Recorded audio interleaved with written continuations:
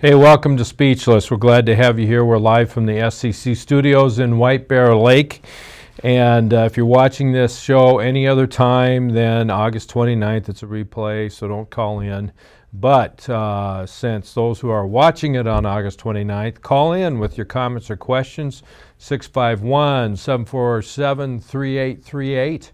Uh, and if you're just not quite comfortable with doing that, uh, email me at uh, speechlessmn at gmail.com with your comments or questions, and uh, we may or may not get back to you. Uh, anyway, but no, I, I want to, we get some great ideas uh, uh, for the show, and we try to implement those and um, get you information that you want to see or hear about. Of course, this show is mostly about family law and judicial accountability and things that go on in our court system. Uh, and today, the main topic we'll be talking about will be the Convention on the Rights of Persons with Disabilities. This is a treaty that's being uh, recommended or pushed on the United States by the United Nations, uh, and it covers a lot of issues that would affect Americans in other Americans with disabilities in other countries and also improve uh, the relationships with those that have disabilities living in other countries. But one of the main arguments, if you watch the Senate hearings last year uh, or earlier this year, was uh, this is a real good thing for Americans with disabilities overseas because these Americans can get along, get around better. Uh, but there is danger in that treaty uh, with the United Nations on the Conventions on the Rights of Persons with Disability that would take away parental rights. So we're going to go through that and just discuss what these dangers are and um, that will be a large part of the show. But before that, I have a couple of announcements and then uh, a couple other comments about other things in the news and then an update on Ray Widstrand, the uh, individual who works at the studios here uh, that got uh, beat up uh, severely, critically uh, on the east side of St. Paul by uh, some gang members. And so I'll give you an update on how he's doing and we'll go from there. But first, the announcements. Um, Grant, this is something, the city of Grant in Minnesota, not far from here, they have a tractor parade every year. This year, it is Saturday, September 7th. And, you know, this is just a different parade. Uh, it's just a fun parade where it's tractors and old style, you know, farm machinery. And there might be a cement mixer here some other, I mean, and that cement mixer was something else but just some great, great machinery uh, out at this tractor parade. It's Saturday, September 7th at 12 o'clock, and it starts at the Gasthaus Bavarian Hunter Restaurant at Manning and uh, McKusick. And then um, trophies are awarded for these tractors. So even if, if you got a tractors, uh, uh, try to get it in the parade. Um, it's, it's it's fun. The tractors come from all over, uh, from a number of different states, but most are local. But uh, you can get prizes for the oldest one, the best recondition, uh, various types of prizes. But I don't know, there was tons of prizes out there. It's pretty good. Uh, and there's raffle prizes. It starts at noon, and I, I believe also there's a lunch after the parade uh, that you can get in on and, and have. So how many parades do you go to they serve you lunch? I mean, not, not very many. You can give a donation, but this is the um, Grant Heritage Preservation Committee, I think, something like that, that puts this on. But the parade goes from the, the Gasthaus restaurant to Welander School and back, and then the picnic afterwards. 12 o'clock, Saturday, September 7th. I drove a tractor in that yesterday. I learned how to drive the tractor that day and just had a, had a great time. Uh, it was a lot of fun, good people. Uh, don't miss that. Okay, that's the first announcement. Then uh, something new is taking place. in in the area here. The Senate District 43, which is uh, part of White Bear Lake, Maplewood, North St. Paul. Uh, is Oakdale? Yeah, Oakdale's part of this uh, area, but it's a motorcycle ride. It's called the uh, SD 43 Annual Elephant Ride. Uh, that's just a great picture there. And it's at Stellmacher Park in White Bear Lake. That's where it's starting. And you'll have to go to the website, uh, www.sd43.org, and then click on events to find out where they're going on the motorcycle ride. And uh, the ride, ride begins at uh, 9 a.m. Same day registration at 8, 8 a.m., but there's a lunch at 1 o'clock. You don't have to go on the ride to come to the picnic. Uh, so it's a ride and a picnic, and they'll be having some games and guest speakers from uh, the political arena, and you don't even have to listen to them. But, you know, I, I would advise it. I mean, it's a good time to sit down and may get some one-on-one time talking to some of the uh, people that decide the policy and the relationships uh, that people people will have between each other or the law. Um, uh, you get to talk to these people and and give them uh, an earful or get to know them and, and have some fun. So uh, our freedoms and country are being uh, challenged to ride for country, ride for freedom. Uh, elephant ride, that's September 21st. So um, get in on that and have some fun. So some good activities coming up in the in the area, and uh, want you to know about it. Okay.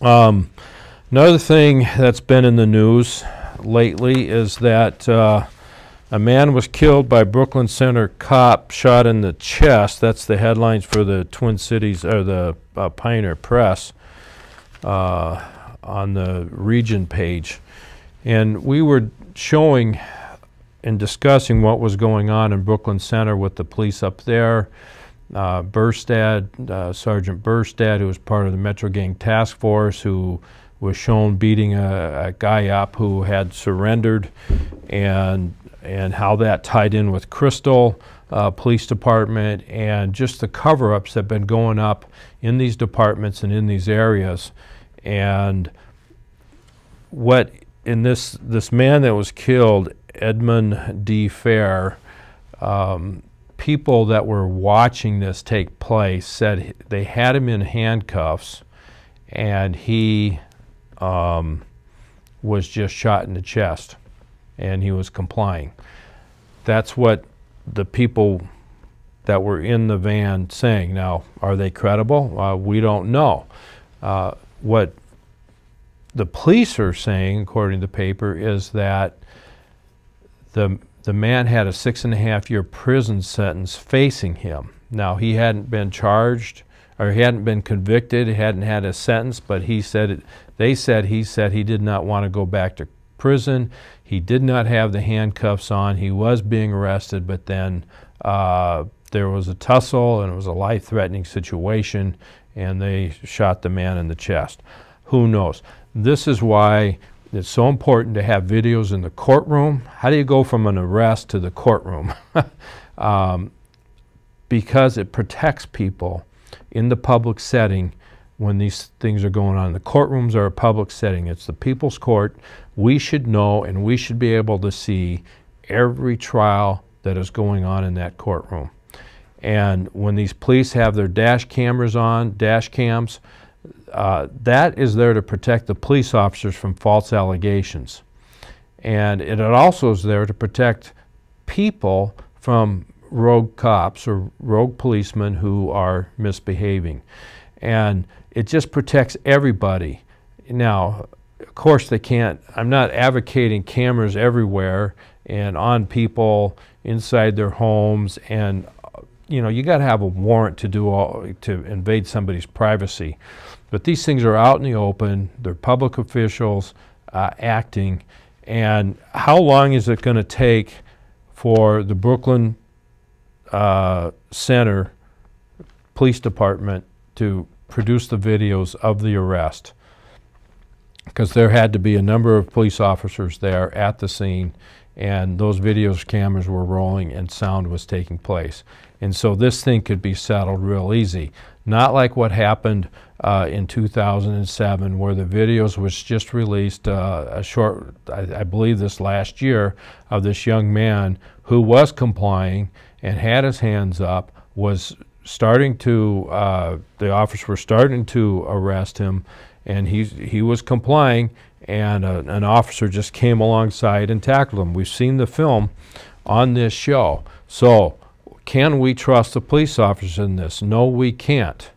Uh, and it's really an important issue because this whole thing affects public trust in the police.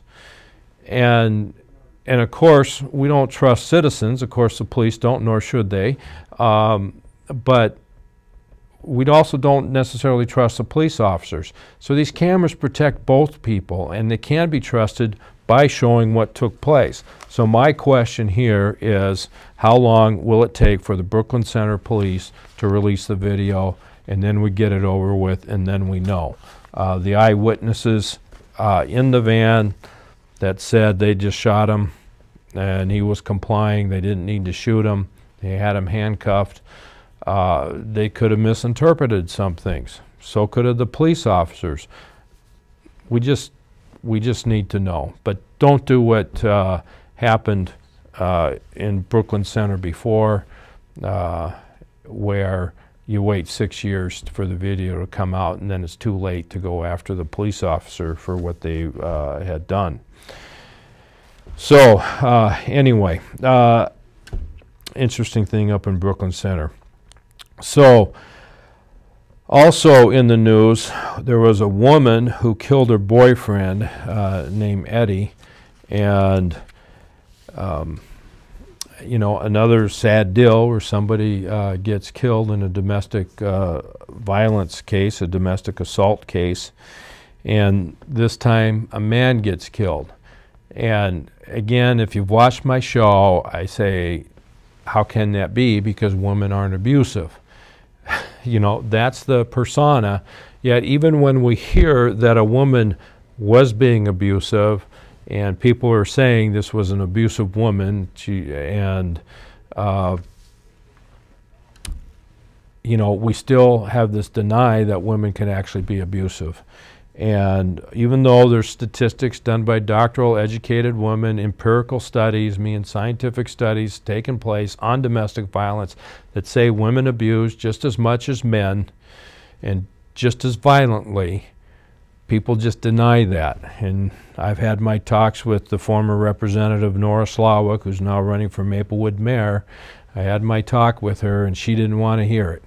It just can't be. Didn't want to see the evidence, could care less about the evidence. Sometime when, uh, you know, can I just give you the, the evidence in the books and sometime when you might want to look at it, you have it for a resource? No, don't even want that. Uh, not going to take it. And now she's running for mayor of Maplewood. You know, that's not the type of person you want you want a person there with an open mind to look at the evidence to see what's going on and not to promote a propaganda that hurts and destroy people uh, we want to have this transparency uh, because you know the bottom line here folks um, and I, I, think some religions are doing a disservice uh, to domestic violence by leaving half of the abusers out of the equation. And, and I don't mean just religions, but uh, it's just society in general. But there's this concept that says people fundamentally are basically good. And you know what? I don't buy that. I don't buy that people are basically good. And you can see it all around us with the violence that's going on, with the stealing, with the cheating, with the lying, uh, with the slander, with whatever, uh, people are not basically good. I, you know what? I can't think of anybody who's basically good. You know, something has to change in that person's life, and that person, individual, has to work at being good. It can't. It doesn't just happen, and we see it with the gangs. We see it with children who are uh, without adult supervision, without good adults, okay, that go and say, you know, there's no restraint on them. And of course, you have a lot of adults out there saying, hey, we shouldn't have any restraints. Well, well, until something happens to them and they start crying, hey, stop that. You know, you can't do that to me. You know, and, and, and there's just, we're, we're not. And a lot of re religions teach that we're basically good. And that's not right. It's a, it's a misnomer. And I don't know why they do that to get people into their church so that they can say, yeah, oh yeah, we're basically good. Uh, and you make me feel basically good, so I'll give you some money. And, but the real issue is we're basically fallen. We, we, we don't do what's right. And we have to have restraint on ourselves, by ourselves, and it has to be taught to us in order to behave in ways that help people and promote goodness. That's why we have a constitution. We have these unalienable rights. You can't steal from me. You can't take my life. Uh, I get to have my idea, my ideas, and my ideology, and I get to work on those and promote those as long as I don't violate somebody else's constitutional rights and their right to life, their right to freedom of religion, and that mindset has to stop. And, and that was one of the big things that happened with the Ray Widstrand situation is that there, everybody down there, not everybody, that's too big of a thing, but what I heard was people were blaming parents, they were blaming the police, they were blaming the police administration, they were blaming landlords, they were blaming the city council, they're blaming the mayor, they're blaming the schools, they're blaming the church, they're blaming media. And then they were going out and saying it takes a village uh, to, to raise a community, and, and it takes a community to raise these children, not a village to raise a community, it takes a village to raise these children, it takes a community to raise these children, but it takes a family to raise the children. And it takes a good family, and it also takes a good village and a good community. You can't be teaching kids garbage and bad values and then expect a different result. And you can't not hold kids accountable. If you don't hold kids accountable to a good standard, then what do you expect? They're going to deliver something else. And I personally don't believe that our schools, uh, when they teach the evolutionary philosophy, that was Hitler's philosophy, and because he believed in survival of the fittest and the raising a race, which what you know, a superior race, which what evolution was about, and we teach that, and you just come from mud.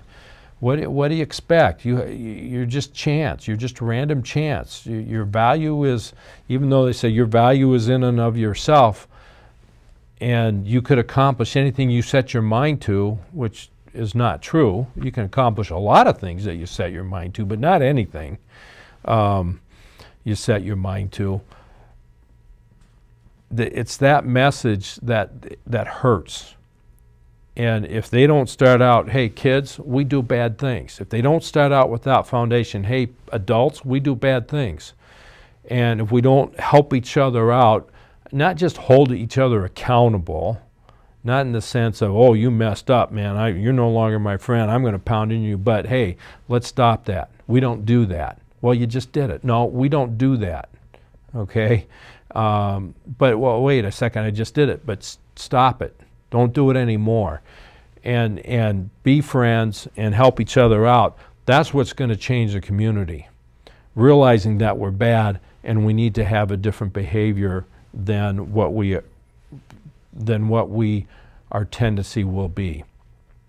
And um, we can blame all these things, and all these things are to blame, but then you got to look at yourself. Am I to blame? Am I doing enough? You know, am I doing what I need to do to produce a, a good uh, a good society, a good village, a good community, a good family. And it starts at home. That's the bottom line. It starts at home. And yes, we do need to get together, but it's got to be based on good values, on uh, a moral value system uh, that is free from the evolutionary mindset and free from the we're all basically good. Well, then why are we doing bad things? Why are we down there at the meeting in Eastside St. Paul blaming everybody else? That wasn't a good thing. These kids need to be taught a lesson. You know, really, which ones do? Because not everyone down there participated in the beating of Ray. Some even tried to stop it. Okay, so who are we going to pound on? Who are we going to beat up? And this was another thing that happened you know, people, you go down there, and, and, and there are problems. There are problems in the police department. There are problems with ourselves. There's problems with the administration and landlord schools. There are problems. But it, it isn't good enough just to say, here's the problem, let's, uh, or, to say, we got a problem, and here's the person causing the problem. We got to come up with solutions to say, the problem is such and such. Therefore, here's the solution to that problem, and here's how we fix that. And that wasn't being talked about so much. You know, it isn't good enough just to put down 30 cops. You know, and one police officer correctly says you can't arrest yourself, arrest people out of this situation. And, and it's a very true statement. I don't think people, you think about it and you got to understand it, arresting yourself out of the situation. Arrests only happen after the crime. So the crime takes place, then you do the arrest. How do you stop the crime? The, that has to be stopped in the minds and the attitude of the children and the adults before the crime gets committed. But we got a lot, of, lot of adults committing crimes, a lot of adults teaching our children to live a different way, and that's a problem. Uh, but if we break down the family, which is the free social system we have, Otherwise, every other social system costs. We got to pay people to do it. So we need to strengthen the family so we can have so there isn't the cost to society and we don't have to be paying out tons of money uh, to handle the, the, the family. And we're spending tons of money on social uh, issues that if we had good families, accountable families, uh, we wouldn't have to spend that money. Um, so anyway, a lot of uh, pontification going on there, but um, you know the solutions, and and frankly, with some of our leadership we have, they don't have, in my opinion, the moral compass to find good solutions and to write good relationships or good laws into place so that we can so that we can deal with some of these issues and turn our culture and our society into a different direction. We need to have different people in those positions. And some of them have been there a long time and they're just collecting their check and trying to get along. And now they're at the point where for uh, quite a few years there, they're the crooks. They're the ones stealing property from people, denying them uh, due process in the court of law, and people are getting their houses taken away and condemned, and they get no compensation for it, even though the houses are in great condition. It's it's amazing what's going on in St. Paul, and um, instead of protecting people's constitutional rights, they are going down there and spending money on uh, second-rate ballparks and and um, things the cities just shouldn't be involved in because they're taking your money and they're forcing it from you to spend and forcing you to associate through your money with things you don't believe in or want to participate in. And that's a moral bankruptcy right there. And the city of St. Paul is head, uh, they're just dove into that situation and they don't care. And that's a problem. And so, you know, it's got to change. And it's the people that got to change the people that are in there that are doing this. And, um, but I don't know that that will ever happen because good people don't speak up. But I take that back. If you don't speak up, you're not a good person. Okay, if you don't address the wrongs, you're not a good person.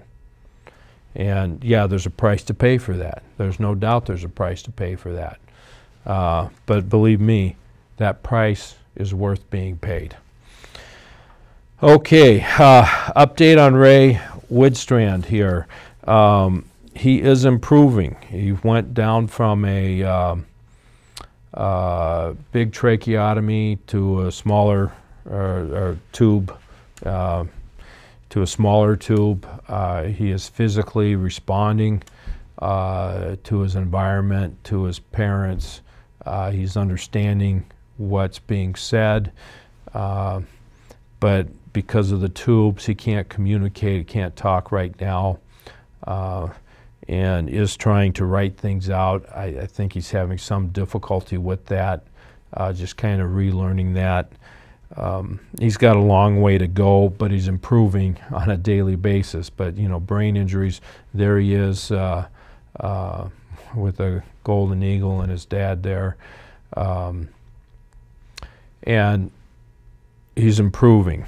Uh, that that's the good news. Now, something that's coming up for Ray, uh, his birthday is this Saturday, August 31st, and he has a Caring Bridge site. And what they're going to do for him is they're going to well, they want people to go to his Caring Bridge site, uh, Ray Widstrand, and uh, send him a happy birthday wish, and they're going to print that off and make a big poster uh, for Ray on his birthday. So that's this Saturday, the 31st.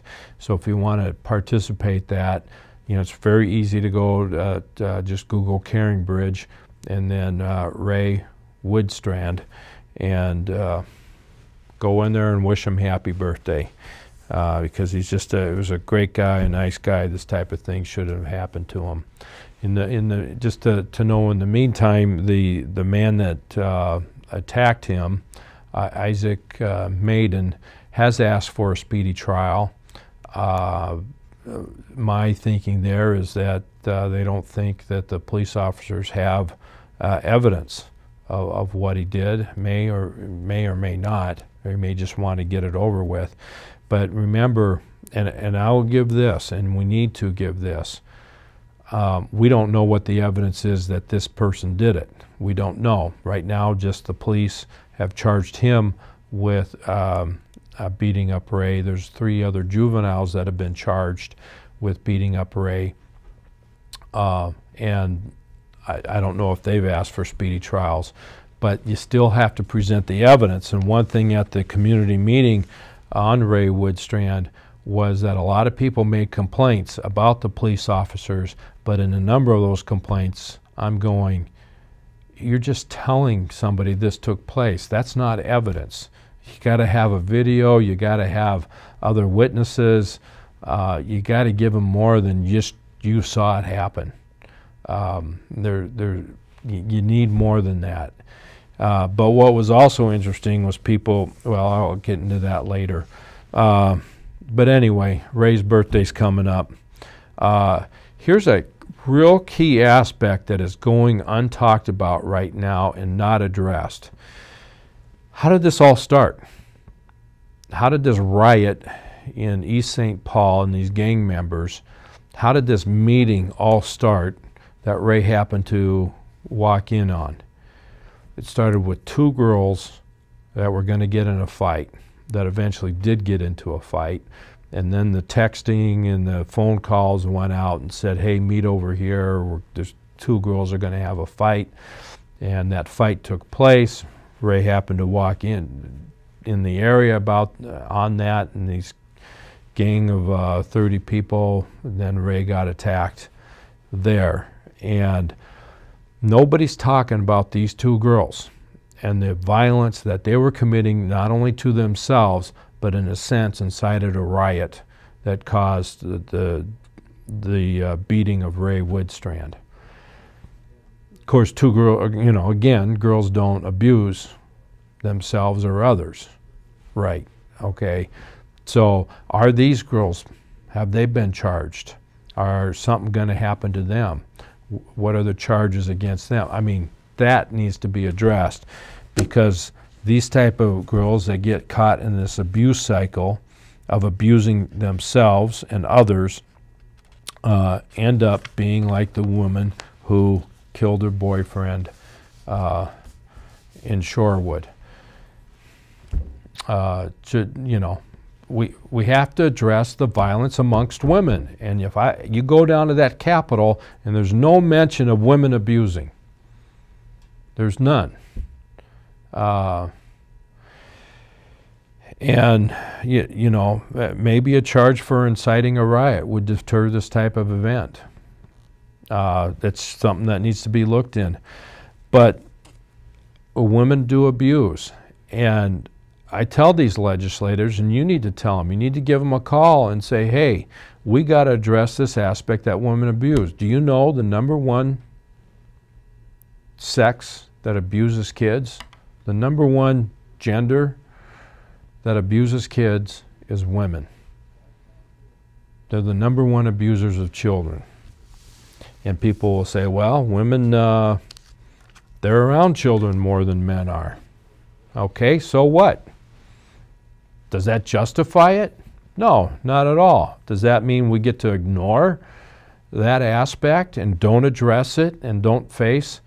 You know, a lot of men get charged with abuses because they are being hit, beaten, uh, stabbed, whatever, by women and they fight back or they defend themselves. Defending yourself, it, you can be charged with abuse.